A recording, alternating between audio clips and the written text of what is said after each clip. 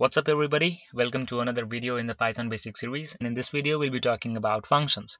So a function is a block of code which only runs when you call it. So why are they used? They're used because uh, it increases code reusability, it, it increases modularity and all the good stuff. So by, by that I mean that let's say that you have 10 lines of code and it does a specific task. Let's say that it uh, processes a number in some way and gives you an output. Now, let's say that you want to do that kind of processing several times in your code. Now, what, what you can do is you can write those 10 lines of code every time you need to uh, use that processing. But that's not very efficient. That That's going to take a lot of time if uh, it wasn't just 10 lines of code. Let's say that it was 1000 lines of code. For example, I have an example here. For example, the print function in Python. This is the code for print function in Python, which is an inbuilt function. So the code that's selected here, this uh, is responsible for printing stuff on the screen whenever you use the print statement in Python. So just assume that if, uh, just uh, think for a second, like if there wasn't a print statement, what would you do? You would have to write this entire code every time you want to print something on the screen. And it wouldn't be very feasible, and nobody would like to be a programmer if that was the case. But thankfully, we have functions. So instead of writing all that code, we, we can simply write print, and we can write whatever here, and whenever we would run it, it would print something on the screen. So easy, right? Also, there's another examples like uh, for, an, uh, for another example of an inbuilt function Python it could be input. You've already learned about this one, which is used to take an input from the user. It could be anything. So those are two inbuilt functions. Now also you can have user-defined functions. For example, let's say that you want to define a function yourself. Now you define a function yourself by using the def keyword and then you give the function a name let's call it a function for now.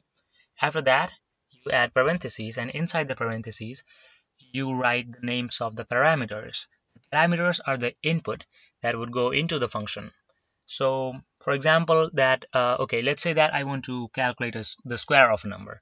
So if you pass a number into this function it it is supposed to return a square of that number. So the input would be a number. So you can just say number here and this is a variable so this is the parameter. Uh, after this, you would give a colon, and then there would be an indented block. And here you would write functions body, whatever you want to do within the function. So here, let's say that you want to calculate number uh, multiplied by number, you want to return that. Now a function has return value by saying return, and then whatever value you want to return. A function, it does not always have to um, return a value it's not necessary. But for now we are going to return something okay? Now a function can be used by saying you write the function's name you open parentheses and then you pass in parameters if any. So the number of parameters here can be any. It could be it could be 0 it could be 10 it could be 20 anything. So let's say that you wanted two parameters. You would just enter a comma and you would be like number two. And let's say that there was another uh, let's say a string or something so you can say string anything it, it's just name right? For now we are only passing one parameter and we want to square the number that we are passing. So let's say that we want to calculate square root of 5 we would say function 5 and if we run that we see that we are getting 25 here which is the output. So that means that uh, this function is being called and it is passing 5 as the parameter and it is doing this calculation and then it is returning that value here right? So that's how a function basically works. Let's make another uh, function. We would say def and let's make it multiply two numbers and divide it by the sum of two numbers. So let's just give it a name function 2 or function second.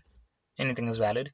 You could say num1 num2 you would give a colon. You would say num1 multiplied by num2 and then you want to divide this whole thing by num1 plus num2 and you want to return that. So you would say return num1 num, num this whole thing.